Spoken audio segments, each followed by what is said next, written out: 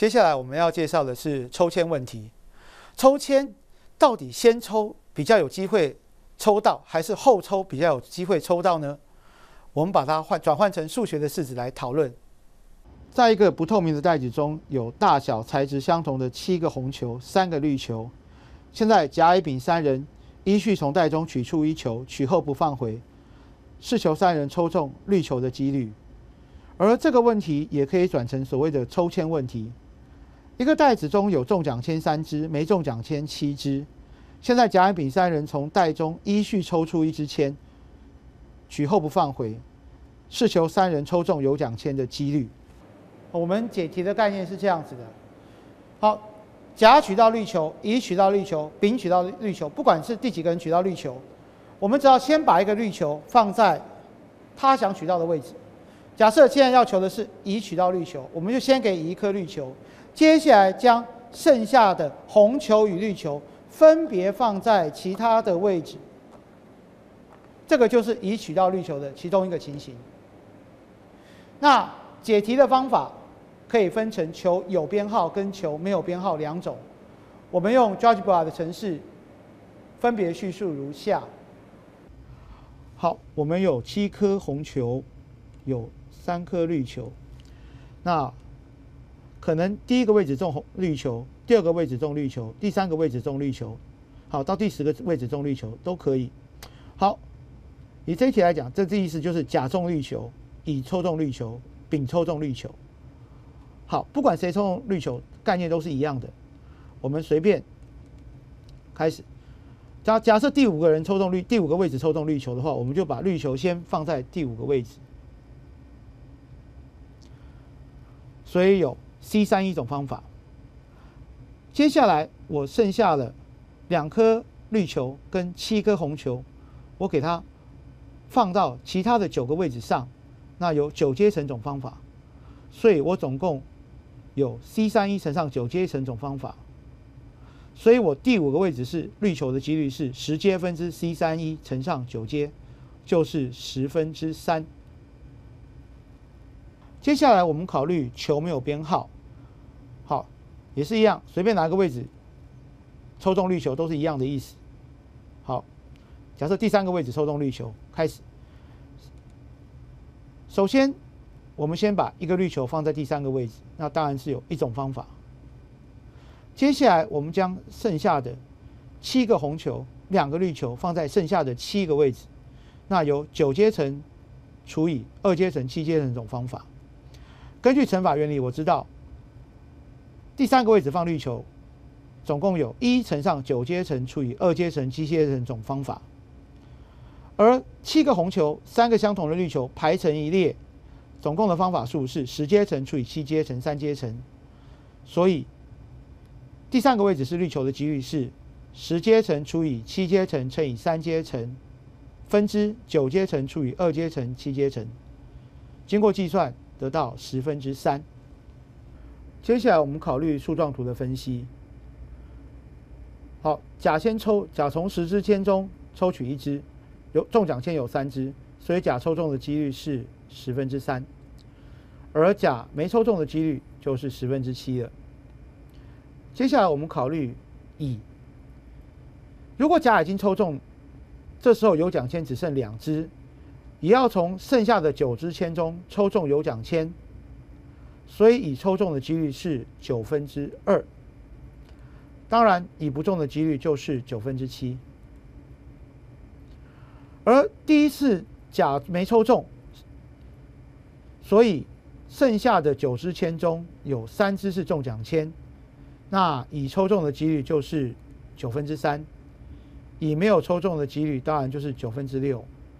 所以我们考虑乙抽中的几率，根据乘法原理，甲中且乙中，十分之三乘以九分之二加上第二个情形，甲不中乙中，十分之七乘以九分之三，我们得到十分之三。接下来我们考虑丙抽中有奖签的几率，从剩下的八支签中，第一个情形，甲中乙也中。所以只剩一支有奖签了，所以丙中的几率是八分之一，当然丙不中的几率就是八分之七。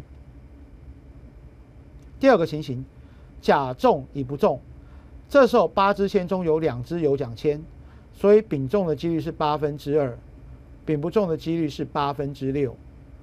第三个情形，甲没抽中，乙抽中，这时候八支签中还有两支是有奖签，所以丙抽中的几率是八分之二，丙不中的几率是八分之六。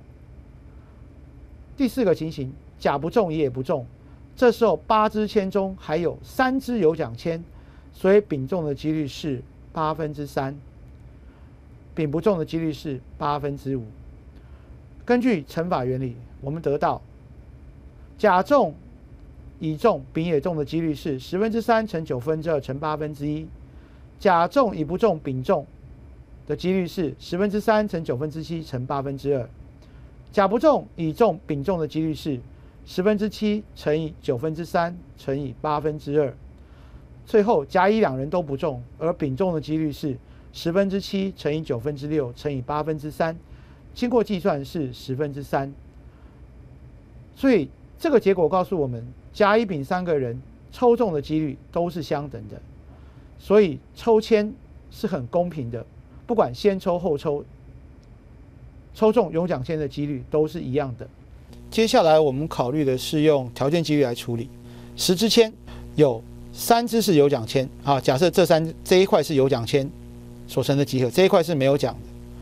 好，那甲抽中几率当然就是十分之三。好，接下来考虑乙。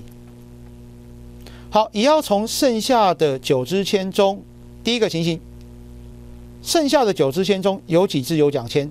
甲中的时候只剩下两支有奖签，所以乙在抽中有奖签的几率是十分之三乘上九分之二。而甲如果没有中的时候，这边还有三支有奖签，所以乙抽中的几率是十分之七乘以九分之三。经过计算，我们发现乙中的几率还是十分之三。接下来我们考虑丙中的几率。剩下八支签中，如果刚刚看到的甲中乙也中，所以剩下八支签中只有一支是有奖签，所以丙中的几率是十分之三乘以九分之二乘以八分之一。第二个情形，甲中乙不中，所以这个时候还有两支有奖签，所以丙中的几率是十分之三。乘以九分之七乘以八分之二。第三个情形，甲不中，乙中，所以这个时候还有两支有奖签，所以丙中的几率是十分之七乘以九分之三乘以八分之二。最后一个情形，甲乙都不中，那这时候八支签中有三支有奖签。所以丙中的几率是十分之七乘以九分之六乘以八分之三。那把这四个情形加起来，我们得到答案还是十分之三。所以甲、乙、丙三个人抽中有奖签的几率都是十分之三。也就是说，先抽后抽并不影响得奖的几率。我们发现球有编号的时候，算出的几率是十分之三，而球没有编号的时候。算出来的几率还是十分之三，为什么会这样呢？我们说明如下：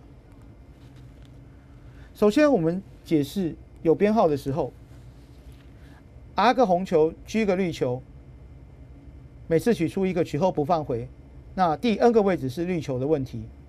第 n 个位置是绿球，所以我们考虑绿球中先选一个，也就是 c g 一，而剩下的 r 加 g 减一颗球排成一列。所以总共有 c g 一乘上 r 加 g 减一阶乘种方法。那总共的 r 颗红球，g 颗绿球排成一列，有 r 加 g 阶乘种方法。所以经过计算是 r 加 g 分之 g。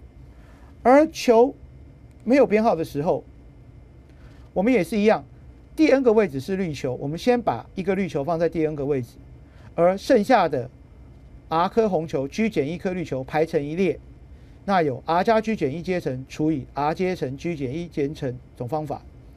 那第 n 个位置是绿球的几率，就是 r 加 g 减一阶乘除以 r 阶 g 减一阶除以 r 加 G 阶乘除以 r 阶 G 阶，就是 r 加 G 分之 G。所以这个取球问题就是可以转换成抽签问题，也就是说哪个位置取到绿球几率一样，抽签的时候不管你先后顺序，抽中的几率也是一样的。